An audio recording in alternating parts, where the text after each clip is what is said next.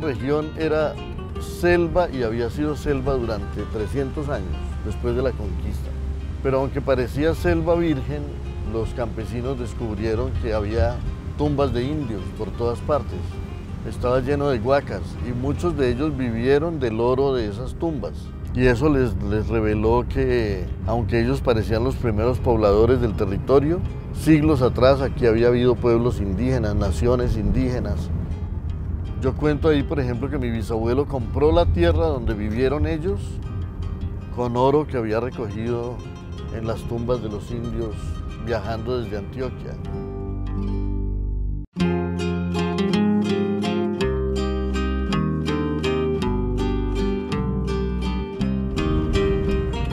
Y esta zona ya fue muy deforestada porque ya empezó a ser habitada desde el siglo XIX y antes de los años 50 los campos colombianos estaban muy poblados. El 80% de la gente vivía en los campos y solo el 20% en la ciudad.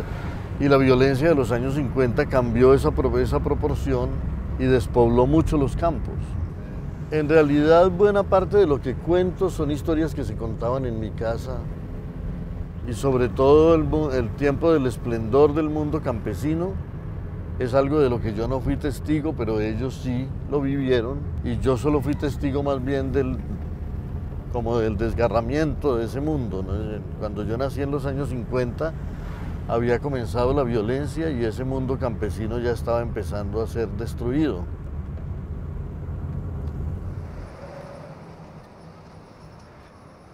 Esto es Guayacanal.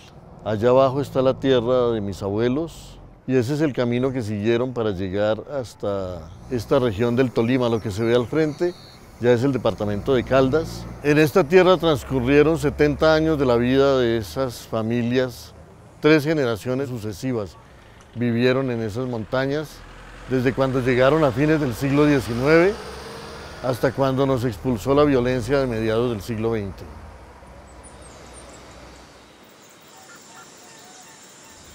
Para esta novela la geografía es muy importante. Yo la describo inicialmente porque cuando el lector se encuentre con los hechos, ya conozca el escenario donde ocurren.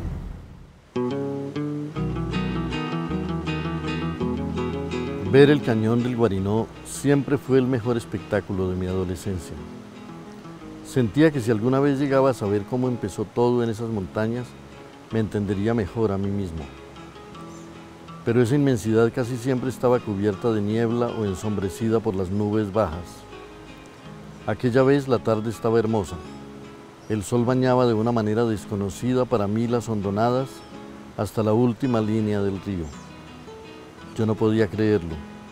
Pasadas las tierras de los abuelos, llegamos a la parte más estrecha del cañón y al puente que une al Tolima con Caldas, entre guaduales bellísimos, Contemplamos desde las barandas el río de aguas claras aborrascado abajo entre peñascos y remontamos la pendiente.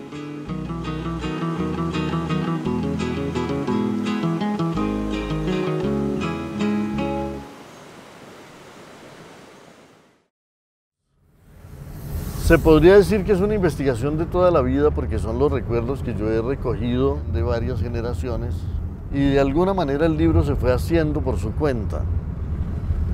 Yo lo que tuve que hacer al final fue copiarlo. Pero claro, uno tiene que seleccionar entre tantos recuerdos. A mí me habría gustado contar muchas más cosas, pero estas eran las que aparecían. Y yo tenía que hacerle caso a, esa, a esos misterios de la memoria que hacen que unas cosas resulten necesarias para el relato y otras desaparezcan. Todo lo que se cuenta reposa sobre lo que no se cuenta. Mucho gusto, Teresa. Ah, Teresita, sí. Sí, ustedes estaban muy pequeñitos cuando yo los vi. Teresita es la hija de mi tío Benito. Mm. ¿Usted cómo tiene esa foto? Pues porque la conseguí en la casa de Margaritas y Fuentes. Sí, ah, ella es la que conserva. Sí. Ay, pero qué es esa dicha. Yo saqué un poco los álbumes de mis eh, abuelos y de mis tíos abuelos, eh, que muy generosamente me prestaron sus fotografías para acompañar el relato y más que para ilustrar puntualmente cada episodio, para que unas cuantas imágenes acabaran de construir el clima mental y el clima eh, eh, espacial de lo que se narra. Eh, más allá de la historia familiar, hay una historia de nuestra sociedad y de nuestro país que quiere eh, expresarse aquí y que yo creo que habla de, de los sentimientos de muchas personas. Pues terminó siendo una novela más que cualquier otra cosa, precisamente porque a pesar de que todos los hechos son reales, el hecho de que, de que la memoria seleccione unos y otros no, ya le da un toque de ficción a lo que se cuenta. Yo trato de pasar lo más inadvertido que sea posible y de dejar que los, que los otros personajes existan y a veces sean ellos los que cuenten las cosas.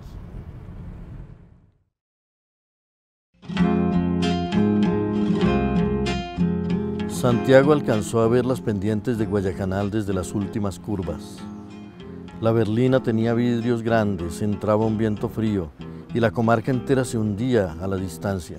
Las fincas, las tierras que todavía eran de Benedicto, las casitas sucediéndose sobre las lomas, el camino que culebreaba hasta la línea del río temblorosa en la última luz. Toda su vida había transcurrido allí. Cada recodo, cada bosque guardaba algún recuerdo. El niño lo miraba Santiago respiraba con esfuerzo viendo las montañas que fueron suyas.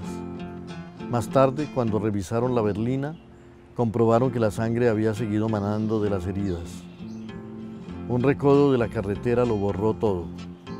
Avanzaron por cornisas que ya invadía la niebla, ante abismos de hojas negras y dentelladas. Vio las cascadas sin sonido como si cayeran muy lejos, en otro mundo, y ya no escuchó nada y el frío de las alturas de letras se le metió en el pecho para siempre.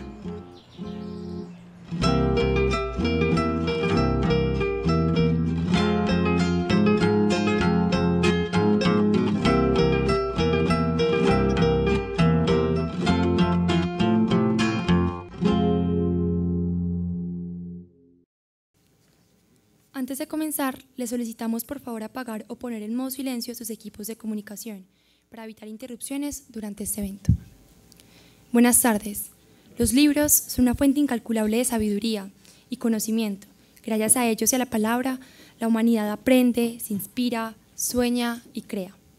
Y es que la lectura amplía la mirada de la realidad, de los fenómenos sociales, culturales que históricamente se dan en el mundo. Y más que apasionarse por las letras, la invitación es a aprender a leer la ciudad, ese, el lugar donde habitamos y en el que somos ciudadanos. La Universidad de AFIT, Confenalco, la Alcaldía de Medellín a través de su Secretaría de la Juventud, el periódico Nexos, con apoyo del Pregrado en Literatura, les dan la más cordial bienvenida a la primera edición del Festival de Letras, un encuentro con la palabra, la literatura y el arte. Saludamos a las directivas de la Universidad de AFIT, de Confenalco, de la Alcaldía de Medellín, así como de las entidades que apoyan la realización de este evento cultural. Hoy culminaremos este festival con la presentación del nuevo libro de William Ospina, que junto al rector de la Universidad de AFIT, Juan Luis Mejía, nos presentará el libro llamado Guayacanal. William Ospina es un reconocido escritor y académico colombiano que ha escrito varios libros, entre los que se encuentra Úrsula, El país de la canela, La serpiente sin ojos y El año del verano que nunca llegó. Ha ganado diversos premios como Premio Nacional de Ensayo, Premio Nacional de Poesía, Premio de Casa de las Américas, Premio de Ensayo Ezequiel Martínez Estrada y el Premio Rómulo Gallego. Lo acompaña en este conversatorio Juan Luis Mejía, rector de la Universidad de AFIT, ha habido escritor sobre temas que abarcan desde la historia de Antioquia hasta la economía y la cultura. Además de ser rector, se ha desempeñado en cargos tales como la dirección de la Biblioteca Nacional, la dirección de la Biblioteca Público Piloto y el Ministerio de Cultura. Damos entonces inicio a esta conversación. Muchas gracias, Valentina. Realmente ella es la autora de todo esto. Entonces, a Valentina y a todos los estudiantes que organizaron esta semana muchas felicitaciones porque estamos aquí por ellos. Entonces, gracias Valentina.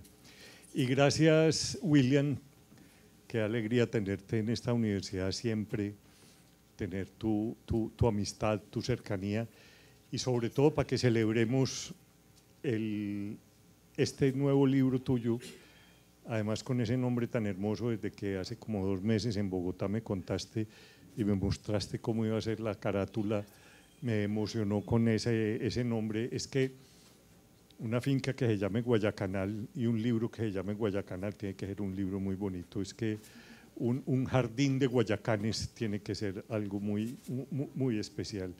Y entonces, bienvenido William, muchas gracias por venir, muchas gracias a Random House también por permitirnos hacer esta presentación. Bienvenido William.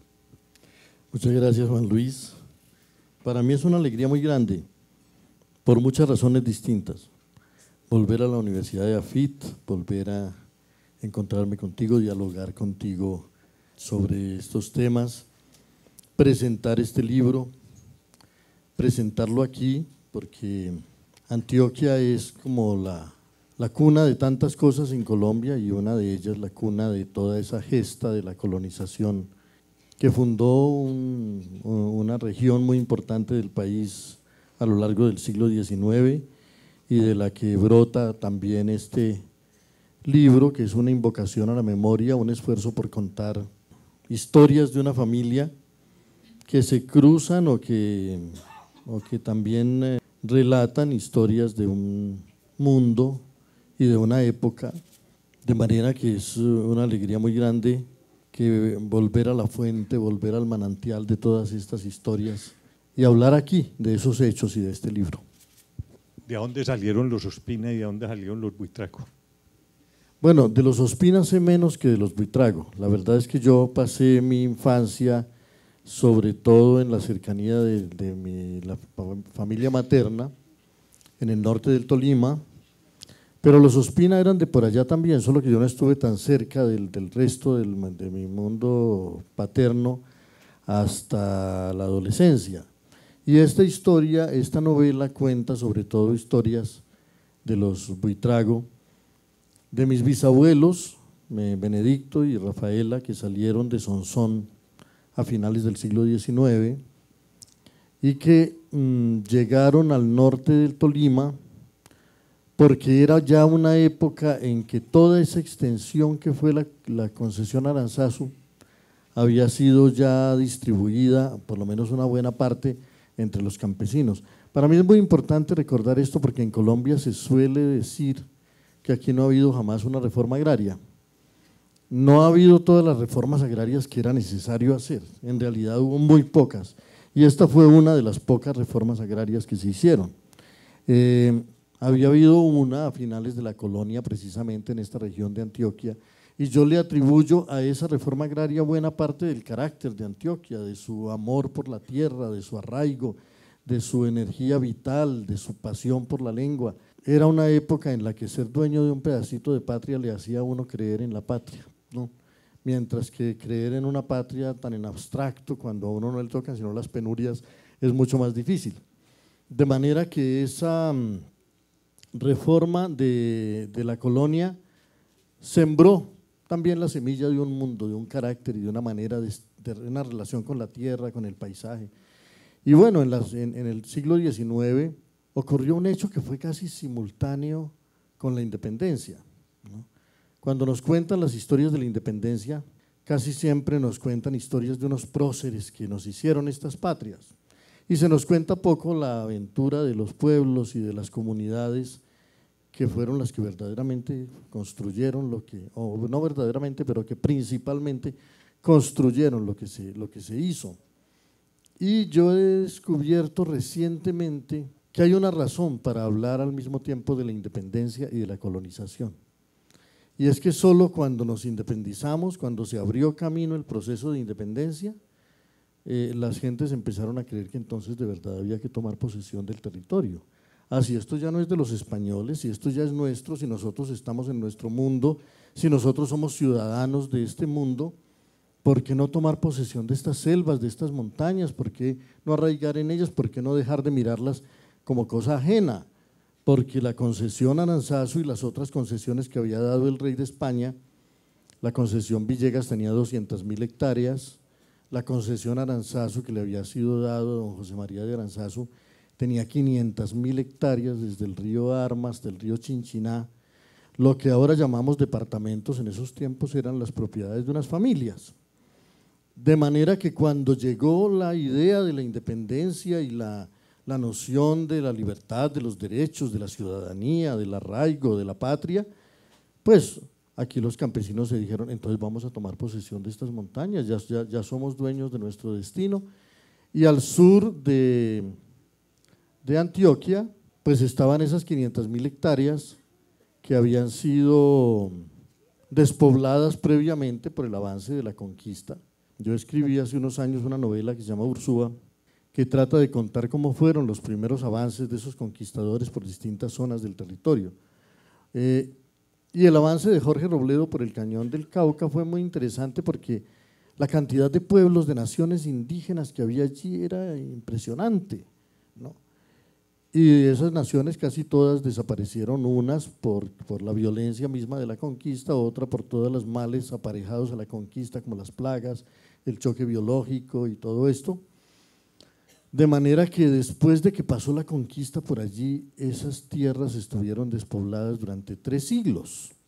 Durante tres siglos la selva que no había sido mm, saqueada por los indígenas que sabían convivir con ella, eh, la selva se tendió sobre esas tierras y cuando los colonos empezaron a mirar hacia el sur porque ya hacía falta eh, tierra, buscar la tierra, pues vieron que esos miles de montañas estaban eh, cubiertas solo por la vegetación y por los toches, y entonces se fueron a buscar tierra, viendo que esa tierra estaba en el primer día de la creación por la exuberancia de su naturaleza, y creyendo que por esa razón estaba baldía, pero aquí todo tenía dueño y la concesión Aranzazo era la dueña de toda esa tierra, y entonces los colonos avanzaron y hasta que cuando ya la cosa se hizo crítica, porque los dueños de la tierra no querían dejar que los campesinos arraigaran en ella ni hicieran fincas, a veces permitían fundar algún pueblo, fundar Aguadas, fundar Salamina, así como habían fundado a Sonsonia Bejorral en la concesión Villegas, el Estado tomó la decisión de repartir tierras entre los campesinos y como 3 millones de hectáreas fueron repartidas en el siglo XIX en Colombia. Esos millones de hectáreas que se repartieron entonces en una reforma agraria de la que vale la pena tener memoria porque es importante saberlo, Colombia vivió como un siglo porque allí se fundó la zona cafetera colombiana a partir de finales del siglo XIX. Bueno, cuando se repartieron esas tierras, mis, bisabuelos no llegaban todavía, ellos vinieron después atraídos por la noticia de que estaban repartiendo tierras pero cuando llegaron ya estaban repartidas. Ellos, pero mi bisabuelo compró la tierra en el cañón del Guarinó, donde se fundó esta familia y donde se fundó esa historia, eh, con oro de guacas, porque ellos iban, era sobre todo buscando oro, no pensaban que eso fueran tierras de cultivo, salvo para el, para el pan coger, para el día a día, sembrar el maicito y la caña para los trapiches, pero nadie pensaba pues que iba a ser una fortuna eh, cultivando la tierra. Hasta cuando descubrieron que una planta que había llegado de Abisinia se daba óptimamente en esas tierras porque los volcanes habían cubierto de ceniza esos territorios durante millones de años y el café empezó a producirse de tal manera que en un año, a finales del siglo XIX, pasaron de 60 mil sacos a 600 mil sacos de café y la cosecha creció de tal manera que la zona cafetera se volvió una de esas bonanzas colombianas que a veces llegan, ¿no?, que nos hacen creer a todos que está comenzando el reino milenario, pero por lo menos en ese caso esa fue una de las pocas bonanzas de la historia de Colombia más o menos democráticamente repartida. ¿no? No se puede decir lo mismo de las bonanzas del oro, ni de las esmeraldas, ni siquiera del tabaco, que fue otro de los productos de exportación de Colombia en el siglo XIX. Entonces, tardíamente, a finales del siglo XIX, llegaron eh, mis bisabuelos Benedicto y Rafaela, de quienes hoy todavía estoy conociendo aquí descendientes, ¿no? Y comenzó esta historia, esta historia familiar que formó, forma parte de la historia de miles de familias. Esta, esta, esta novela es apenas un ejemplo de tantos que podrían darse de lo que fue la fundación de esa región del café y de ese mundo fundado en el trabajo, en el honor, en, el, en la familia, en la convivencia y en la hospitalidad, que fundó un mundo admirable en Colombia que desafortunadamente fue destrozado por la violencia política de mediados del siglo XX. Dos temas, William. Uno, em, vamos a estar como entre la historia y la, literatura. Tu obra anterior se nutría, dijéramos, es literatura que generó literatura. y uno puede seguir eh, la evolución de tu obra eh, desde las auroras de sangre, que te abre como esa ventana. Eh, creo que sos el, el, único que te leíste entero, Juan de Castellanos, o hay otro colombiano que lo habrá hecho, yo no creo. pero eso te abre como una beta de, de, de esa epopeya, eso, eso que pasó, que va a generar la trilogía de Ursúa. Eh, luego, pues eh, tu novela, eh, El año que no hubo verano, etcétera, pero era literatura construida sobre literatura, pero ahora es literatura construida sobre recuerdos, por eso yo llamo un poco esta novela es, la, búsqueda de los orígenes, dijéramos. Y lo otro, una reflexión alrededor de, de un tema como ese tan impactante, pero ha habido mucho más ensayo que literatura sobre el proceso de colonización. Hubo pintura, pues el cuadro clásico antioqueño pues es eh, eh, Horizontes, que es el cuadro de la colonización, pero en la misma obra de Manuel la colonización ya ha pasado, ya, ya, ya, la colonización, ya, ya, ya los pueblos están fundados, etc. Entonces, eh, alrededor de esos dos temas, William, uno, un quiebre en tu obra, no ya nutriéndote de literatura, sino de memoria personal, la, memoria extensa de la familia, apoyada, y ahora hablamos un poco de eso, de la fotografía, que me parece interesante que hablemos de eso también. Y lo otro, que no hay una gran novela sobre la, colonización. Bueno, sí. Em, bueno, y Juan Luis tiene muy buena capacidad y posibilidad de hablar de estas cosas porque el primer libro que yo publiqué en gran medida se debió a su eh, esfuerzo y a su labor cuando estaba en eh, Colcultura, que fue un libro de poemas, de manera que hace mucho tiempo nos ha unido también esta, esta búsqueda literaria y este comienzo de la aventura de escribir y de publicar. Sí, yo creo que los primeros, los primeros libros que yo publiqué, sobre todo las primeras Pero novelas. William, es que te tengo una sorpresa aquí.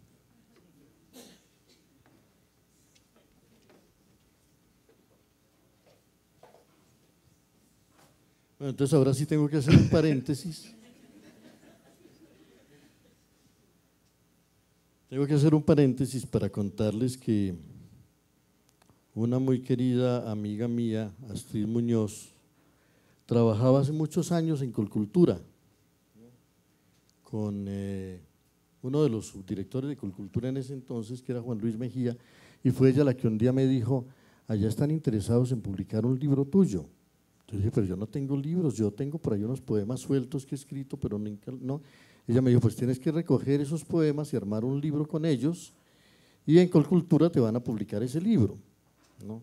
Yo le dije, pues, ¿será? yo, había escrito poemas, pero nunca había pensado en publicar un libro, ya era, pues, ya, había, eh, ya habían pasado mis años.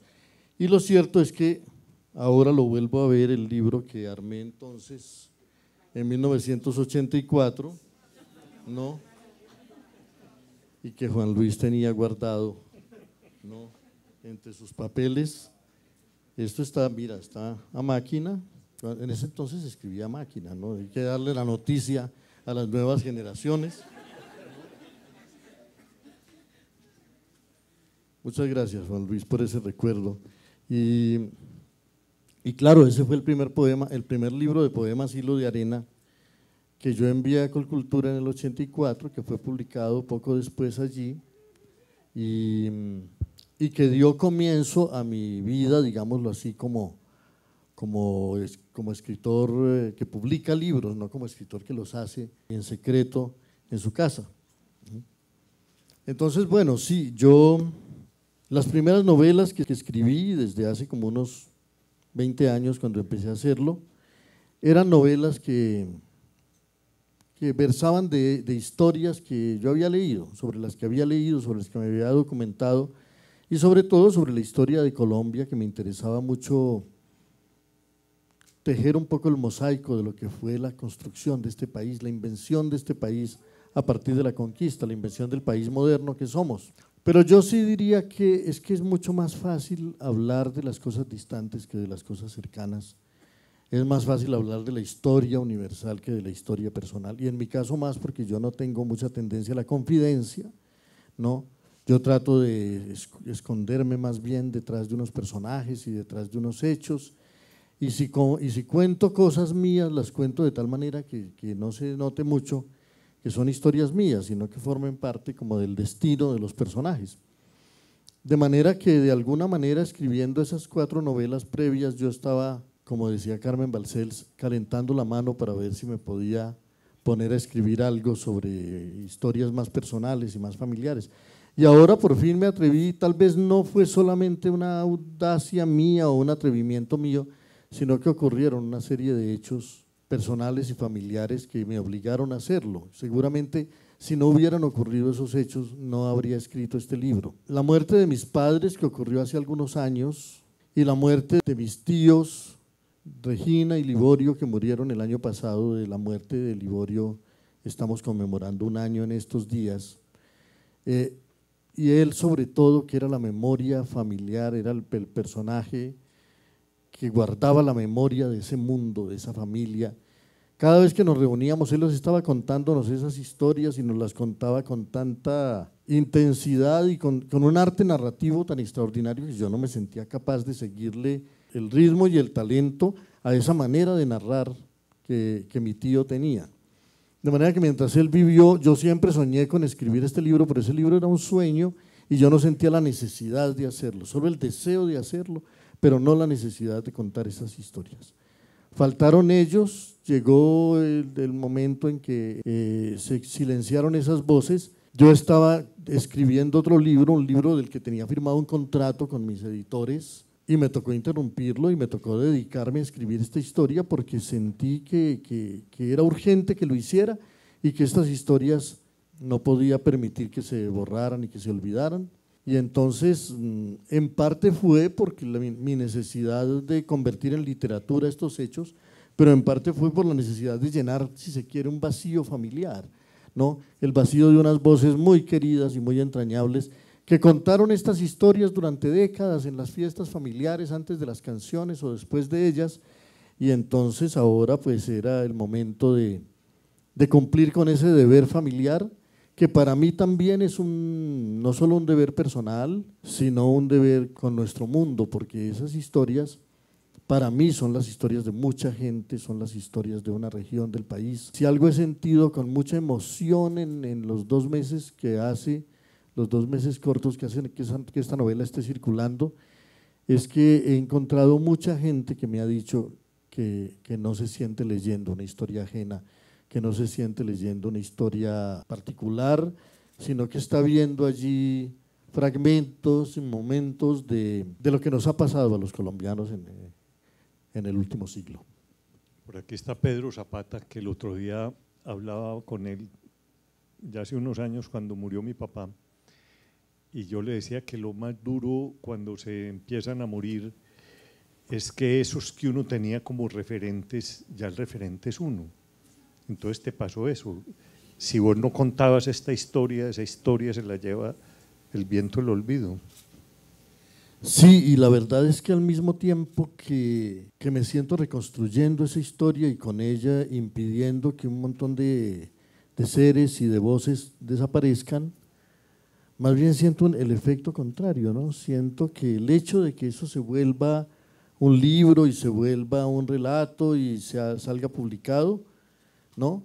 Empieza a darle como una vida nueva a un montón de cosas que estaban allí guardadas en la memoria de, mucha gente. También para mí fue importante, ya que lo mencionaste, lo de esas fotografías, porque en algún momento, bueno, hay, algo en el, en, el, en el proceso mismo de hacer el libro que para mí fue un descubrimiento. Yo sabía el libro quería escribir, pero a medida que, que escribía, descubría que la mano se iba por otro lado, ¿no? La mano no quería obedecer el libro que yo quería escribir, sino que había un libro que quería ser escrito. Y es el lenguaje, el ritmo del lenguaje, el ritmo de la evocación y el ritmo de la memoria. Yo me decía, ¿por qué yo quiero contar esto y no me llega en el momento de escribirlo. En cambio, cosas que no parecía que estuvieran allí, como que, no había pensado yo que fueran importantes para la historia, empezaban a brotar con una intención. Entonces yo dije, para mí es importante no escribir el libro que yo quiero escribir, sino el libro que necesita ser escrito. Y entonces decidí hacerle caso a esos misterios de la memoria, como decía en ese video, y aceptar que no era lo que yo le imponía a la, a la mano, lo que se escribía, sino lo que iba brotando de esa invocación y de esa evocación y lo que termina haciendo que esto sea una novela, creo yo, es el hecho de que no se lo cuenta todo. Si se lo contara todo, tal vez sería una crónica interminable, tal vez. Pero como hay que escoger unas cosas sí y otras no, como unas llegan y otras no llegan, algo de ficción se va armando, una, un tejido en el que unas cosas requieren de otras y, y lo que va brotando, bueno, uno es el primer sorprendido de lo que resulta. Eh, pero fue muy grato para mí. Y a partir de cierto momento me dije, estoy necesitando irme a buscar fotografías, ir a mirar esas fotografías antiguas. Como ahora las fotografías abundan, para nosotros ya no tienen tanta importancia. Y hay muchas fotografías que las tomamos pero ni las volvemos a ver. Pero en esos tiempos no abundaban las fotografías y entonces hay tan pocas que uno las atesora como con un cariño especial porque están llenas de información y llenas de relatos y llenas de detalles y esas fotos viejas son particularmente conmovedoras. Alguna vez yo asistía a uno de esos debates clásicos sobre si la fotografía es un arte o no. Y yo siempre me dije, no, la fotografía no es un arte, es un milagro. No, es, increíble que los, los, hechos del pasado puedan, los rostros puedan conservarse de esa manera. Entonces me, me fui a mirar los álbumes de mi madre, los de mi, los de mi prima Diela, que por aquí está, y a la que le pedí que me mostrara fotos, que ella las, las, colecciona desde hace tiempos, fotos familiares, después algunas otras personas. Entonces me fui a, bucear un poco en los álbumes de los tíos abuelos y encontré cosas maravillosas, por ejemplo, personajes que habían estado siempre presentes en mí por los relatos familiares, pero cuyo rostro no había visto nunca, como el de mi tío Santiago Buitrago, que fue asesinado en el año 39 ¿no? en, una, en, una, situación que yo describo como con cierta minuciosidad, porque me impresionó mucho desde cuando recibí esa, esa, historia a los 13 años, pero nunca había visto su rostro. Su rostro lo vine a conocer hace un año, hace 10 meses, ¿no?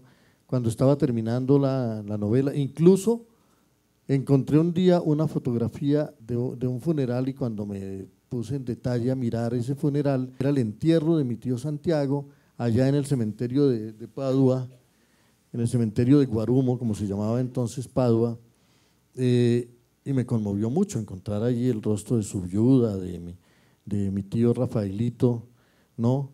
que, estaba, que era el hermano menor de él, sí, que, era, que en ese entonces era, este, estaba estudiando eh, haciendo una carrera eclesiástica que después abandonó.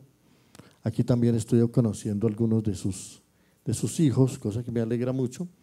Eh, y entonces encontrar esas fotografías acabó de darle cierta intensidad al proceso mismo de la escritura. ¿no? Encontré una foto muy hermosa de mi tía Clemencia que está aquí acompañándonos hoy, que me conmueve y me alegra mucho que esté aquí porque ella sí que es el testimonio viviente todavía de toda esta historia de, esos años en Guayacanal.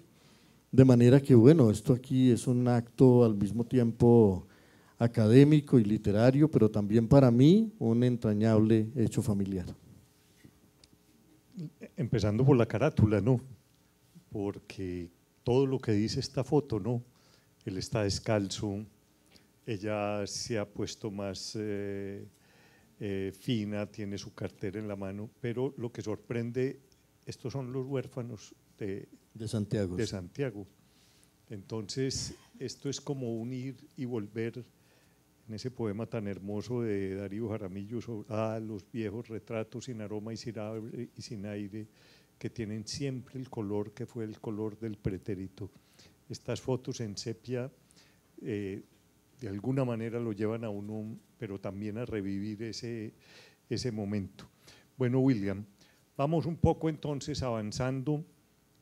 Tus bisabuelos hacen parte, dijéramos, de esa penúltima oleada de la colonización. A ellos ya no les tocó el repartimiento, pero ellos saben que hay unas tierras, ya no en la vertiente occidental de la cordillera central, sino la vertiente oriental de la cordillera, ya sobre el río Guarinó, sobre esto. Y muy interesante eso, porque en, el fondo eran mineros. Hay una de las teorías, por ejemplo, eh, que de la colonización se origina cuando estos barequeros de la quebrada La Mosca, de la quebrada Pantanillo, en el Retiro, etcétera, se agotan estas vetas, ellos van y lo que van buscando son guacas. Incluso en, la literatura, en, la prensa del siglo XIX aparece en la compraventa de oro, etcétera, aparece compro oro de huaca y aparecen los precios del oro de huaca.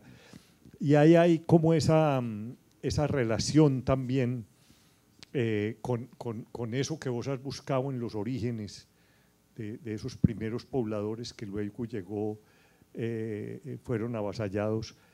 Y una cosa que me sorprendió, había todavía una capilla cerca a, a, Guayacanal construida y que vos te lo encontraste en Juan de Castellanos. Sí, quedaban vestigios de lo que había sido ese mundo de la conquista y quedaban vestigios, muchos más naturalmente, de lo que había sido toda esa población original del territorio. Para mí siempre fue desde, desde niño algo muy inquietante el tema de las huacas, ¿no? porque cuando uno estudiaba en, eh, en, la escuela y en el bachillerato, pues los indígenas prácticamente no existían, no eran unas cuantas eh, leyendas por ahí, pero no, no tenían como una presencia importante y aquí en Colombia hubo y hay todavía gente que piensa que los pueblos, los pueblos indígenas no tienen que ver con nuestro mundo, que eso desapareció con la conquista y a nosotros nos enseñaron la historia de Colombia desde la prueba de las carabelas de Cristóbal Colón, ¿no? Ahí comenzaba todo. Cuando en 1991 estábamos en vísperas de, de la conmemoración del quinto centenario del llamado descubrimiento de América, yo escribí un libro de poemas que se llama El País del Viento, solo para negar en mí mismo esa mala idea de que América tiene 500 años. Me parecía realmente una desventaja frente a un mundo tan antiguo creer que vivimos en un continente que tiene 500 años, cuando desde hace 20 mil años por lo menos hubo aquí pueblos, naciones, y cuando llegó a haber una arquitectura tan refinada, unas artes tan complejas, unos mitos, unas lenguas que se desarrollan en milenios, descifrando un territorio, cifrándolo en mitos, en leyendas. Todo ese mundo, para mí ha sido una obsesión desde hace muchísimo tiempo hablar de América, de, la construcción de América, y siempre recordar aquella frase de Germán Arciniegas de que aquí no se dio un descubrimiento de América, sino un cubrimiento de América, y que todo lo que llegó de otra parte vino a cubrir lo que había aquí. También estos colonos cuando venían avanzando creían ser solo hijos de Adán y Eva y no tener nada que ver con este mundo americano.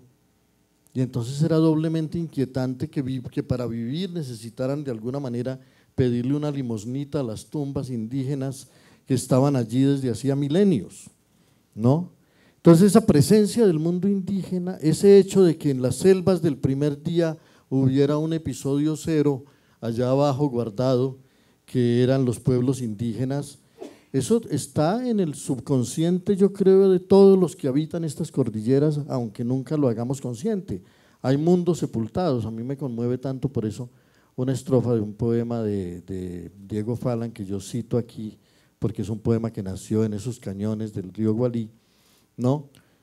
Porque él dice que cuando mira los Andes siente que allí están, allí yacen las cenizas de mundos ya juzgados. Y ese verso siempre me pareció muy hermoso, las cenizas de mundos ya juzgados.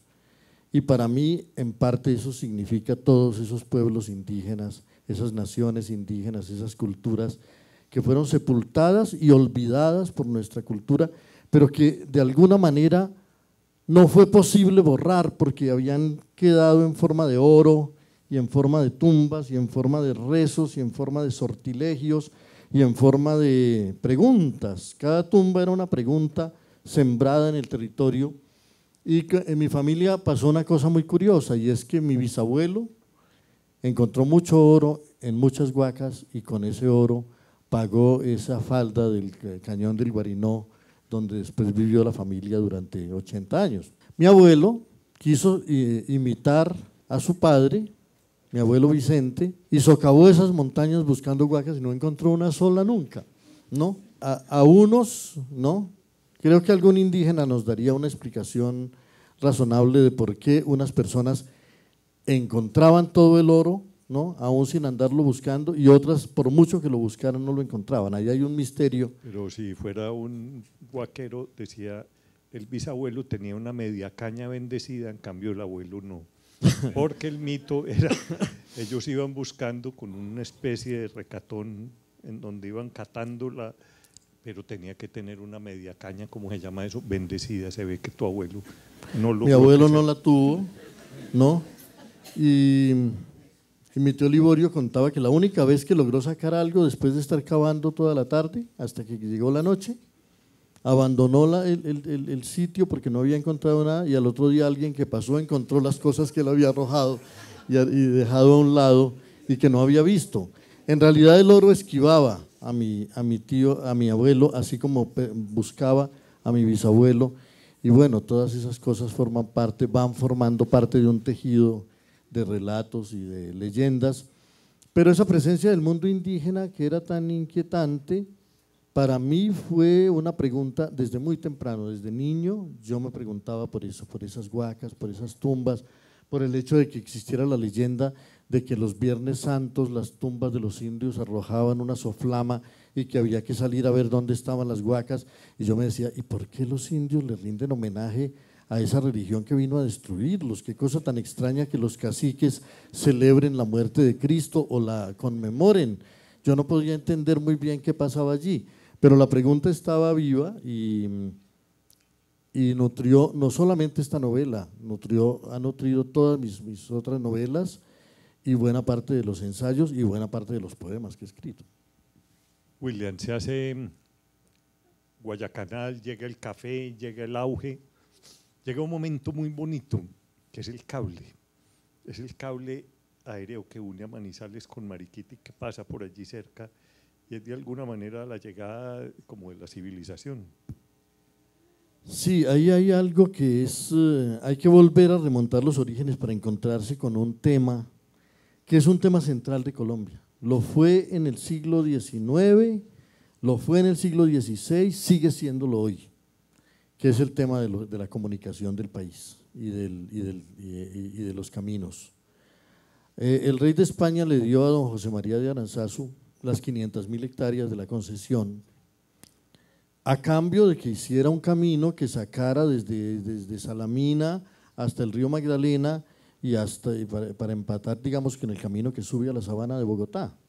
Porque si algo necesitaba el país era caminos, y si algo era difícil de trazar en este país eran esos caminos, por la topografía, por los climas, por las tempestades, por las eh, avalanchas, por los derrumbes, por las piedras, por todo, todo, ¿no? la humedad, eh, en fin. Entonces, eh, los aranzazos llevaban 50 años dueños de toda esa tierra, dueños de una cordillera, y el camino no aparecía. Y el camino tardó tanto en aparecer que solo Elías González, en la segunda mitad del siglo XIX, menos por cumplirle al rey, que ya no, ya no tenía poder sobre ellos, y menos por cumplir las promesas que le habían hecho a los padres de la independencia, porque los Aranzazu cambiaron de bando y se sumaron a la independencia con tal de seguir dueños, siendo dueños de la tierra, ¿no? Elías González lo que quiso fue unir unas haciendas que tenía en Salamina con unas haciendas de tabaco que tenía en Mariquita y decidió construir ese camino, el camino de la Moravia. Ese camino fue muy arduo de construir y lo construyeron en parte con peones y en parte con presos en trabajos forzados. Y fueron muchos los muertos porque trazar ese camino que va de Salamina a, a Aranzazu, de Aranzazu a Neira, de Neira a Manizales, de Manizales a Letras, de letras a delgaditas, a mesones, a Padua, a petaqueros, hasta llegar a Fresno y a Mariquita. Ese fue un camino dificilísimo de trazar porque hay que ver lo que son todavía hoy esos abismos, esas nieblas, esos aguaceros, esas tempestades, ese frío, ese, ese volcán. Entonces, mm, tender ese camino fue una hazaña portentosa. Y, que es el paisaje que describe Iván en su novela. Que es el paisaje de las hermanas, por supuesto, de esa tierra, que es una novela muy bella además. Y entonces ese camino era muy urgente por una razón adicional, y es que como ya les conté que la cosecha cafetera había crecido de esa manera, el café no se producía para nuestro consumo interno, aquí podíamos tomar pasillitas sin mayor problema, ese, café era importante porque era para exportar, y para poderlo exportar o se lo sacaba por Buenaventura, que una parte de la cosecha se sacaba por allí, o había que bajarlo al Magdalena y del Magdalena enviarlo a Estados Unidos y Europa. Entonces, 10.000 bueyes bajaban la carga cafetera por ese camino durante décadas y las, y las recuas de mulas complementaban eso y subían las mercancías inglesas, sobre todo, que iban hacia Manizales y que iban por toda esa, por toda esa cordillera. Lo que pasa es que las recuas de mulas, yo ya averigüé, no, los bueyes tardaban 10 días en bajar los bultos desde Manizales hasta Mariquita. Y entonces, como esta colonización estuvo acompañada también de ingenieros ingleses y de mineros ingleses que venían buscando minas para cobrarse los empréstitos de la independencia, y que entre tantas cosas trajeron las ideas con las que se hizo la arquitectura de la zona cafetera, esas casas de tabla parada que uno encuentra en toda esa región de Caldas y del Quindío y de Risaralda.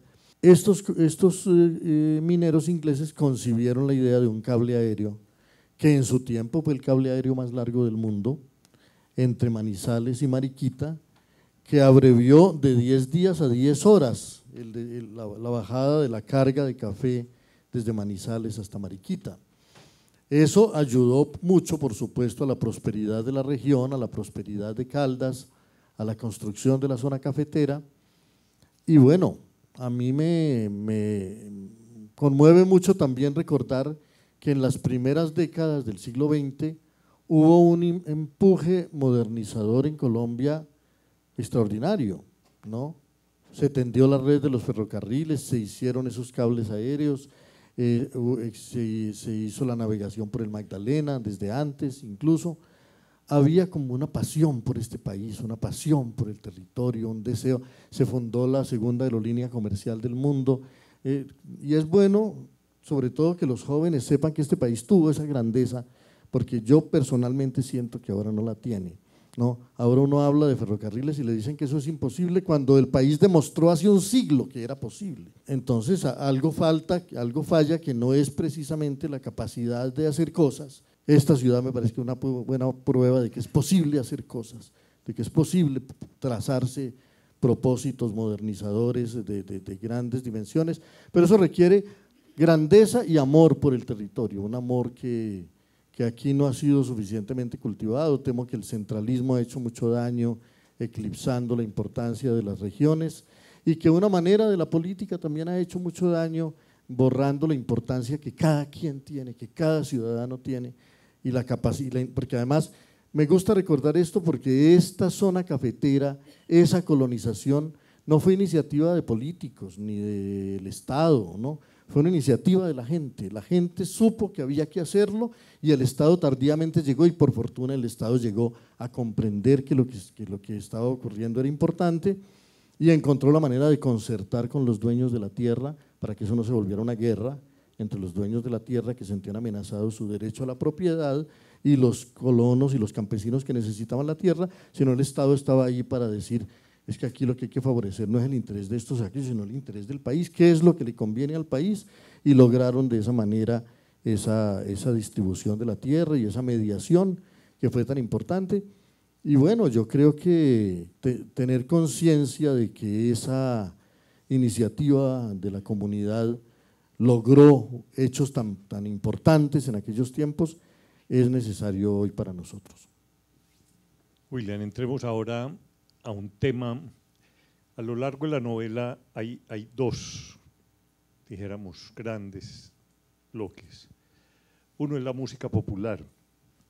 Eh, tu papá, músico, yo no sabía que había tenido un dueto con Óscar Agudelo.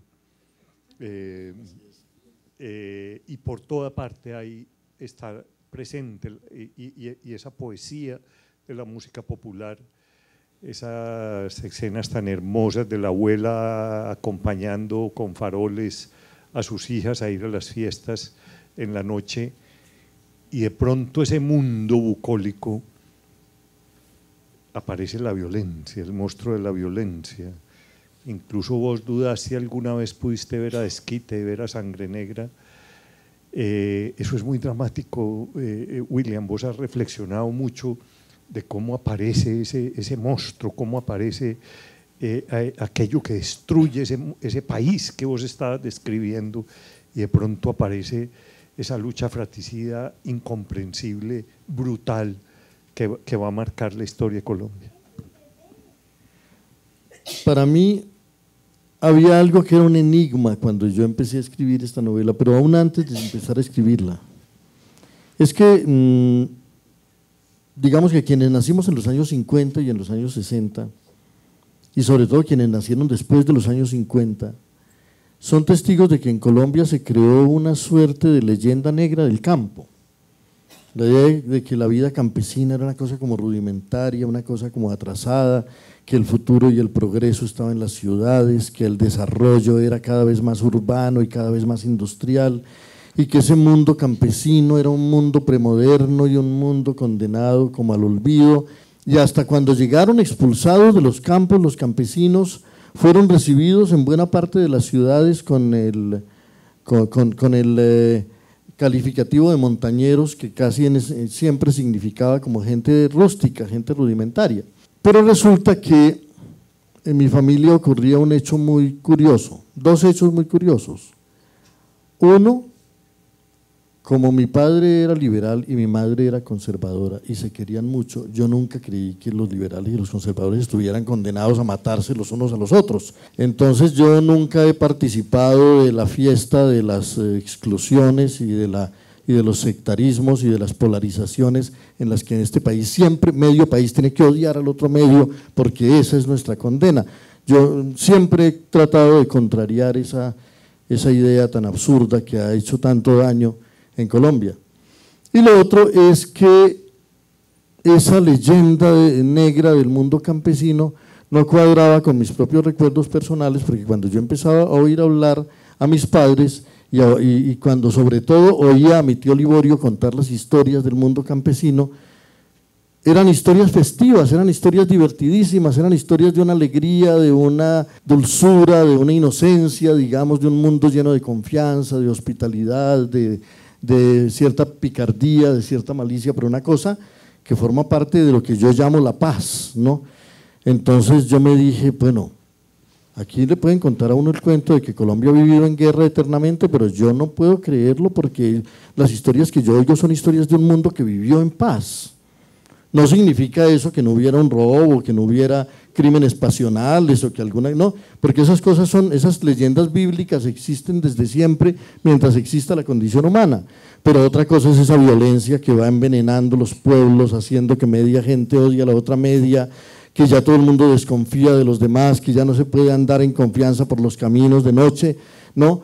E, esa cosa terrible que le pasó a Colombia y que es fruto de la violencia política eh, y, que, que, es fruto también de esa leyenda falsa de una, de una modernidad y de un desarrollo dándole la espalda a la naturaleza y dándole la espalda al campo. Ahora que ya hemos vuelto, hemos llegado a la comprobación de que esa leyenda urbana tal, vez no nos trae el paraíso que nos tenía prometido y que esa leyenda industrial tal vez no nos lleva hacia el gran superdesarrollo, sino a lo mejor hacia el colapso planetario, nos va a tocar aprender a mirar de otra manera no solo la naturaleza, sino también a mirar de otra manera muchas cosas del pasado. Es posible que haya habido muchas cosas terribles en el pasado, pero no todo pasado por el hecho de serlo es necesariamente algo negativo, así como no todo lo nuevo por el hecho de serlo es necesariamente un progreso. De manera que para mí ese relato festivo de ese mundo campesino me reveló que en esa tierra hubo por lo menos 70 años de paz y que tres generaciones lograron vivir creando sus costumbres y sus tradiciones. Y eso es especialmente admirable en este caso porque a ellos les tocó volver habitable una selva, una selva que no había sido que no había dejado de ser selva nunca, ni siquiera cuando los pueblos indígenas estaban allí. Eso en Europa hace mucho tiempo que no ocurre, que una comunidad humana muy grande llegue a ocupar una selva y a fundar en ella una morada y, una, y un mundo humano, ¿no? un mundo urbano, un mundo, una polis, digamos, como lo dirían los griegos, ¿no? que los griegos no creían que la polis fuera el cemento, la polis era la cultura, era la, la morada humana. Hacer de esas selvas una morada humana es lo que a mí me parece que es más admirable de esa hazaña de esa colonización y lo que hace que yo admire tanto a mi bisabuela Rafaela, además de los relatos que me hace mi tía Clemencia de cómo recibía a sus nietas bailándoles eh, en la casa, eh, es el hecho de que a esas mujeres de las que no queda registro en la historia, les tocó domesticar un mundo y, civilizar a esos hombres bárbaros y esos eh, acostumbrados solo a tumbar monte y a pelear a machete, ¿no? les tocaba a ellas fundar la convivencia y unas normas de civilización y traerle un poco de ese espíritu de alegría y de hospitalidad y de generosidad que, las caracterizó. Yo en esa bisabuela veo a, miles de abuelas de este, este país que, que, fundaron una tradición de hospitalidad, de generosidad, de cortesía, de cordialidad y de alegría y que lograron hacer que sea verdad para nosotros que aunque aquí hayan matado tanta gente, la alegría no la mataron jamás. ¿No querés hablar de, de y Sangre Negra? Sí, sí, claro que sí. Claro que sí, pero sobre todo por una razón que yo creo que es importante. Yo escuchaba a mis tíos y a mis abuelos contar estas historias y entonces yo comprendí que aquí había habido un esplendor del mundo campesino, que en Colombia había habido un mundo campesino particularmente espléndido.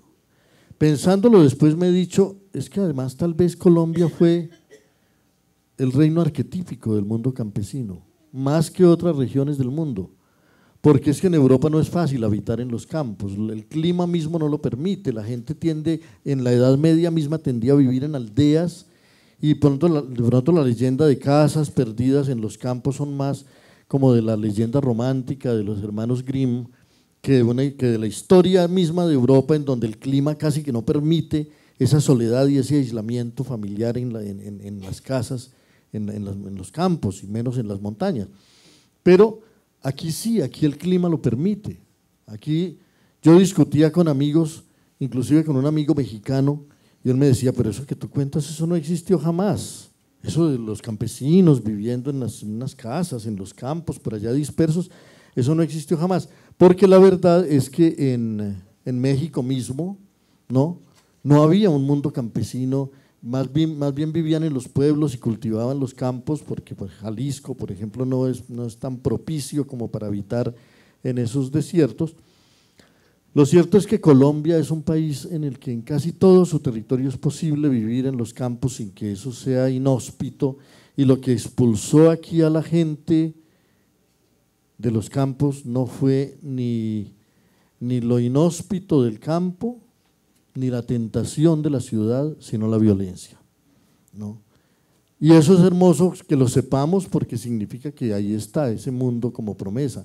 Y ahora que es tan fácil estar conectado con el mundo desde cualquier parte, ya no puede uno decir que vivir en el campo signifique necesariamente estar desconectado del mundo y estar por allá abandonado y desprotegido. Basta que haya una sociedad en la que haya la seguridad suficiente y vivir eh, en una armonía con la naturaleza es aquí muy posible. De manera que Colombia fue un país, fue el clásico país campesino. Y si como dicen algunos historiadores, en Colombia se hizo una de las pocas reformas agrarias exitosas de la América Española, ¿no? Vale la pena tener todos esos ejemplos en mente ahora cuando el desafío es cómo vamos a enfrentar los grandes males de estas, de estas urbes ya inhabitables y de esas megalópolis de 30 millones de habitantes en las que todo es estrés y, neurosis y humo y violencia, ¿no? Y al lado esos campos esos campos que basta, salir de las ciudades para encontrarse con la belleza del mundo eh, y pues una, una, una, una, nueva mirada sobre, lo que, sobre nuestra manera de habitar se impone. Entonces, sí, yo sentí que ese mundo ese esplendor campesino había existido, pero que a mí prácticamente no me había tocado, salvo en los relatos de mi familia. A mí me tocó la destrucción de ese mundo. En mi infancia nosotros íbamos de pueblo en pueblo huyendo porque había llegado la violencia y la violencia era verdaderamente atroz. Y bueno, como mi padre era liberal y entonces vivía en un pueblo de conservadores y, eran liberales pues muy fieles a sus deberes, entonces las 11 papeletas de los liberales aparecían en las elecciones en medio de todas las papeletas de los conservadores.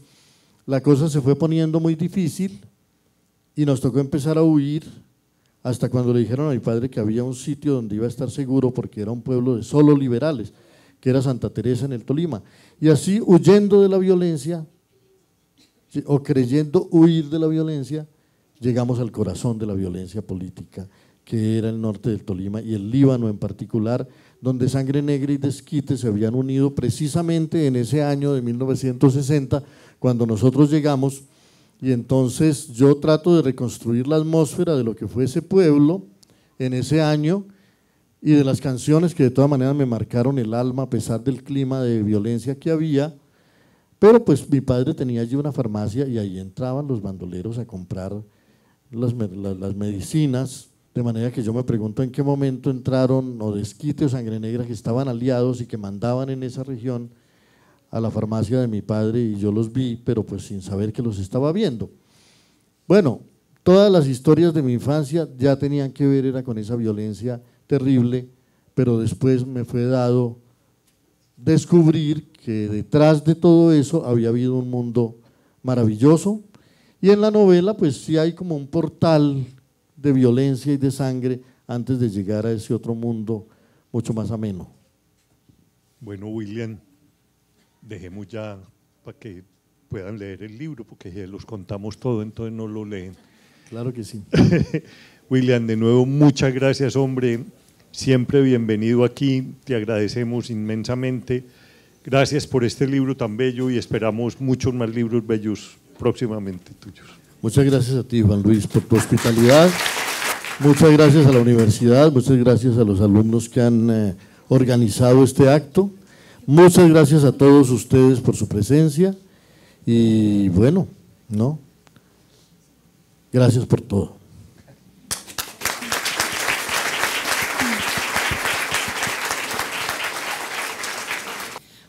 Habilitamos un espacio para las preguntas por parte de los asistentes a este evento. Para eso el equipo de logística va a estar pasando con los micrófonos.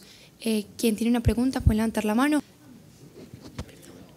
El otro día estuve en México y estaba en una situación parecida a esta y el moderador decía, y recuerden que la pregunta es una construcción gramatical corta que generalmente termina en interrogación. Eh, primero que todo, pues maestro, gracias por estar acá presente. Eh, una pequeña introducción, qué pena con los de acá. Eh, soy hijo y, y, nieto de campesinos, así que sería un orgullo para mí leer el libro y la pregunta, eh, viendo, ahorita hablas sobre los daños de la industrialización hacia lo que es nuestra ruralidad como tal, cómo hacerle ver a los jóvenes y a nuestra sociedad la importancia que trae lo rural a nuestras vidas, a nuestro presente, cómo hacerles ver que nuestro pasado es muy importante tanto para nuestro presente y para nuestro futuro. Bueno, yo creo que hay muchas maneras, pero lo que principalmente nos está enseñando a mirar la naturaleza de otro modo y a mirar de otro modo nuestra manera de vivir y el futuro, son las propias consecuencias de este mundo en que estamos viviendo. Yo incluso a veces me digo, frente al modelo en que estamos habitando, al frente no hay nada como alternativa, no hay un sistema que uno pueda decir ya, esa es la opción, ¿no? Pero lo que milita contra este, esta manera de vivir que, que tenemos hoy son sus propias consecuencias, el cambio climático, la basura, la noticia de que ya hay más plásticos que peces en el océano, la noticia de que la alteración de, los ecosistemas es tal que hay, se está dando una extinción masiva de especies vivientes Todas esas noticias van a tener que producir unos efectos en nuestra conciencia y en nuestra manera de vivir. Y yo creo que lo que se viene sobre el mundo ahora es una gigantesca revolución de las costumbres. No esas revoluciones en las que alguien llega a deponer a otra clase social para instaurar un poder distinto, sino otro tipo de revoluciones, como fue una revolución el Renacimiento, como fue una revolución la llegada del cristianismo, como fue una revolución el romanticismo, grandes giros históricos que cambian la manera de pintar, la manera de escribir, la manera de cantar, la manera de habitar, la manera de comer. Y creo que si algo va a cambiar, ¿no? Y voy a traer aquí un recuerdo que en estos días evocaba en una charla en, Manizales, y es que un día yo estaba hablando con una amiga, eh, eh, estaba, de visita en una casa de unos amigos en Madrid, y ella, la, la, señora de la casa, me dijo, hoy vamos a tener que comer en la cocina porque se dañó la mesa del comedor, le pasó algo allá a una pata. Yo le dije, no, pues maravilloso comer en la cocina. Y entonces recordé una anécdota de la antigua Grecia en la que contaban que una vez estaba Heráclito de Éfeso en la cocina y llegaron unos visitantes. Y los visitantes les dio como vergüenza llegar a hacer sentir incómodo a, Heráclito de hallarlo en la cocina, entonces se quedaron discretamente en el umbral de la casa. Y Heráclito los oyó y les dijo, entrad que aquí también están los dioses. Entonces le dije a mi amiga, mira, Heráclito dijo, aquí también están los dioses, hablando de la cocina. Y mi amiga me miró y me dijo, no, si es de allí que salieron, ¿no? Si es de ahí que salieron. Y yo creo que ella tiene razón, ¿no? Yo creo que la civilización se fundó en la cocina, en la cocina donde está el fuego, donde está el agua, donde están los alimentos, donde está el arte, la gastronomía, donde está la conversación, donde está la familia, donde está la hospitalidad. El corazón de un hogar es la cocina ¿no? Y creo que todas las construcciones, las arquitecturas del futuro van a tener que empezar a pensar más seriamente en eso, así como cada vez más estamos descubriendo que hay que aprender a comer cosas que vengan de cerca, ojalá del huerto, porque ya no sabemos qué estamos poniendo en nuestros platos y porque a veces la comida tiene que cruzar el mundo entero para llegar al plato con todo el rastro de CO2 que eso significa nos va a tocar aprender otra vez a, saber siquiera qué estamos comiendo y en esa medida, si la civilización comenzó en la cocina, la nueva civilización tendrá que volver a comenzar allí. Eh, buenas noches.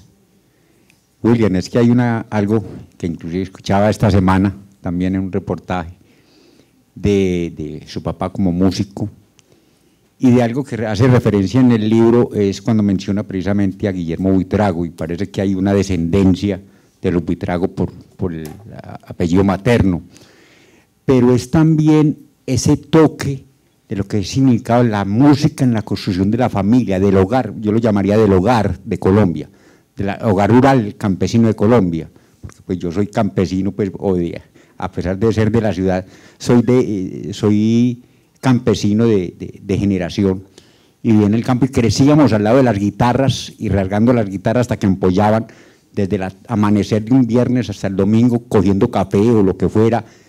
De la música así, como lo decía, como lo narró García Márquez, pero como también usted lo menciona en gran parte de su libro y, en sus historias de muchos, que la música es formadora y, ha sido parte integral de, estas historias, de esta construcción de país que hemos tenido.